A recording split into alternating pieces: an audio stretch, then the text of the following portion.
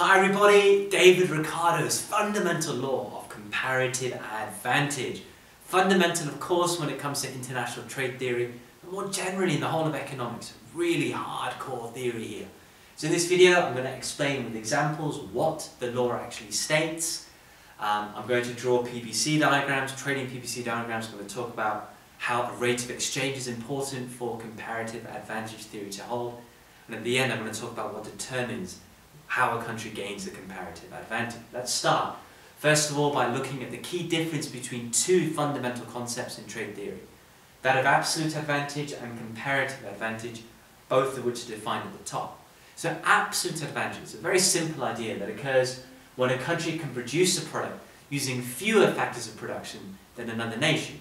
Very simple idea, whereas comparative advantage states that a country should specialize in producing goods or services at the lowest opportunity cost. Only then should it trade with another nation. So key words here. Specialization, but only in goods and services a nation can produce at the lowest opportunity cost relative to another nation. So the key difference is in this notion of opportunity cost. Let's look at examples that make it fundamentally clear. I'm going to assume here that there are only two countries in the world producing only two goods and services in the world. Those goods and services are identical. We're going to assume that exactly the same quantity and quality of factors of production are available for both India and Ghana. Um, the assumptions sound ridiculous, but it enables us to come to conclusions that do apply to the real world. In a future video coming up, I'm going to actually go through the assumptions and how some of them do break down. So don't ridicule the assumptions just yet. Go with the flow. Okay. So let's assume there is only India and Ghana, and they can produce either cotton or computers using the same factors of production, exactly the same quantity and quality, India can produce either 20 tons of cotton or 10 computers. Ghana can produce either 16 tons of cotton or 2 computers. Using the law of absolute advantage, it's clear to see that India have the absolute advantage in producing both computers and cotton. Right? Using the same factors of production, they can produce more. They're more efficient with the same factors of production. But we know that the law of comparative advantage underpins everything. That's more important. So let's move away from that. Let's move to this table and see for each ton of cotton made, for each computer made, how much is each nation giving up to produce it? Because that's what comparative advantage says we need to look out for, the opportunity cost of production. Let's look at cotton production first of all. For India to produce one ton of cotton, how many computers are they giving up to do that? Well, to work that out, it's very simple. To produce one ton of cotton, right? So what we need to do is divide, both sides, right?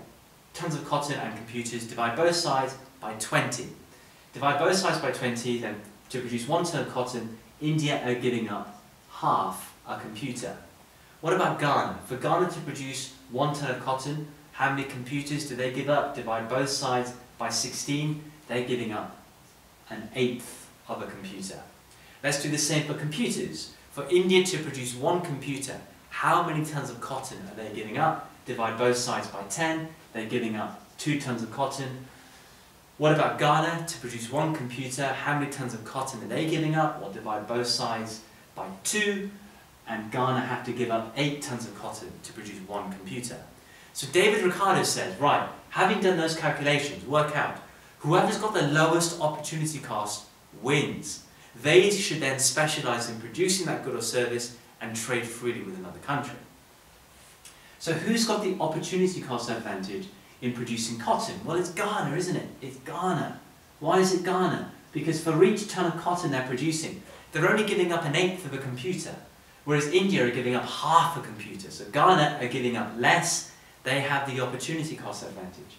What about for computer production? Well, India have the comparative advantage there. How do we know that? Well, India are only giving up two tons of cotton for each computer made, whereas Ghana are giving up more, they're giving up eight. So India have the opportunity cost advantage there. Okay, so Ghana wins for cotton, India wins for computers. Each country should therefore specialise in those respective products and trade with each other. Now, in your exam, you might have to draw a trading PPC. And if you do, it's very, very simple. You've done them before in micro. This is another kind of micro PPC-based diagram. You've got computers on the y-axis, cotton on the x-axis. We've got figures in this table on the left. We just have to plot the PPCs with respect to the figures that were given. So for India, they can either, using the same factors of production, produce either 20 tons of cotton or they can produce 10 computers. So plot the two points, we get to a PPC that looks something like that. So we can say that that is India's trading PPC. For Ghana, it's either 16 tons of cotton or it's two computers. Plot the two points together and we get Ghana's PPC. Okay. Now this is a really useful thing to do to work out comparative advantage without the need to do numerical calculation. The numerical stuff is easy anyway, but if you just drew the PPC curves, there's a little trick to work out who's got the comparative advantage in what product. The way to do it is, when you've done the PPCs, go to the axis where there is the biggest gap between the two PPCs. In this case, it's the y-axis, the computer axis. Whoever's producing more on that axis has got the comparative advantage in whatever's on the axis. So here is India. That's got, that's producing more where there is the biggest gap. So that means India has got the comparative advantage in computer production. And it means that on the other axis, which is cotton, the other country has got the comparative advantage there. It's a law that never fails. It's a little trick that never fails and that can help you a lot. If you're given figures like this and you're not comfortable working out opportunity costs, you can just draw the PPCs and use that trick. Okay, so just a reminder, you go to the axis where there is the biggest gap between the two PPCs, whoever's producing more on that axis has got the comparative advantage in whatever good is on that axis. The other country's got the advantage in the other good on the other axis. However, this theory doesn't just stop there. For trade to be mutually beneficial, for each country to exploit its comparative advantage for it to be worthwhile, there needs to be a suitable rate of exchange. To work out that rate of exchange, I'm going to draw an opportunity cost ratio kind of diagram here. Very simple idea. I'm just going to say for each computer, how many tons of cotton could each country have produced instead? So for India, for each computer, they could have produced two tons of cotton instead. For Ghana, for each computer, they could have produced eight tons of cotton instead. So now we have what are called opportunity cost ratios there. So the one on the right, that is Ghana's. Ghana's opportunity cost ratio.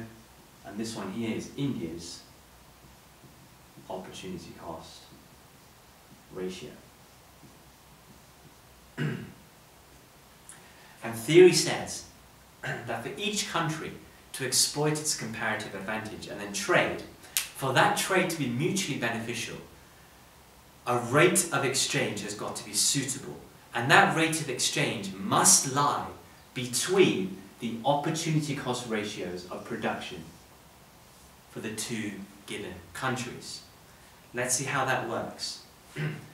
India should specialize in computers according to this theory. They should produce computers and sell computers to Ghana. But for India, it's only worth selling to Ghana if what they get back in return is more than what they could have made themselves with that one computer. So India will need at least two tons of cotton in return for each computer they sell to Ghana. Why? Because if they don't get two tons of cotton, if they get less than two tons of cotton, then what was the point of selling to Ghana? They may as well have just sacrificed one computer themselves and produce two tons of cotton themselves. Okay? So for India, they need at least two tons of cotton for a trade to be beneficial for them. What about for Ghana? We said Ghana should specialise in cotton production and buy computers from India. Well, for Ghana, it's only worthwhile buying from India, buying computers from India, if what they have to pay is either 8 tons of cotton or less. Why is that? Well, if Ghana have to pay more than 8 tons of cotton for each computer they buy from India, what's the point? They could have just sacrificed 8 tons of cotton themselves and produced one computer themselves. If they had to pay more than 8 tons, it doesn't make sense for them to buy from India. They could have done so better if they produced the computer themselves. They could have paid less. So for trade to be mutually beneficial, therefore the opportunity cost, uh, sorry, therefore the exchange rate, suitable exchange rate, must lie between the opportunity cost ratios of production for both countries. Okay, so one computer, if we look at the exchange rate in terms of the price of a computer, one computer should cost between 2 and 8 tons of cotton. So an exchange rate that would benefit both countries equally would be one computer is priced at 5 tons of cotton. The more we move towards 8 tons of cotton for one computer, the more that benefits Ghana. So let's say the exchange rate was one computer is 7 tons of cotton. That benefits, uh, sorry, that benefits India very much because India are getting more tons of cotton for each computer they're selling. Okay, that's great for them, whereas Ghana having to pay quite a lot. Still beneficial for both countries, but more in terms of India's favour. The more we move towards less tons of cotton for each computer, the more it benefits Ghana. For each computer they actually buy in, they're only having to pay three tons of cotton. Okay, whereas India are getting less in terms of how much, uh, in terms of how much they're getting back from a computer that they're selling. Okay, but as long as the exchange rate lies between the, the two opportunity cost ratios, it's always beneficial to trade for countries to exploit their advantage. That's a nice little bit of theory for you to take away. The last thing I want to talk about is what determines whether a country has a comparative advantage or not. Very simply, it comes down to the quantity and the quality of factor endowments in a given nation. So why are Ghana specialising in cotton? Well, maybe it's because they have an abundance of cotton plants, an abundance of fertile soil to produce cotton plants in Ghana. That's just the luck of their factor endowment. That's the luck, the land that they have, which is suitable for producing cotton. This is how it's worked out for Ghana. Okay, in which case that might lead them to having a comparative advantage in cotton production. Whereas for India, it might be the case that the quality of their labour force, the skills that their labour have, lend itself, or lend themselves very, very well to producing computers. In which case their factor endowments are well suited towards computer production, that might lead to the comparative advantage there.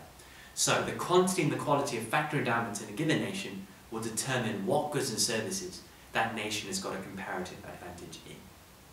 Thanks so much for watching guys. My next video, really interesting video, I'm going to look and see how this theory, as long as there is a mutually beneficial exchange rate, can actually lead to each country here actually consuming beyond their PPC. A real benefit of comparative advantage theory. Okay, so both countries, instead of just stopping on their own PPCs, can actually end up consuming beyond. How does that work? Because that's another add-on to the theory. Watch my next video to understand that. Hopefully you understand the idea of comparative advantage. Really interesting theory, important theory. Thanks for watching. See you all next time.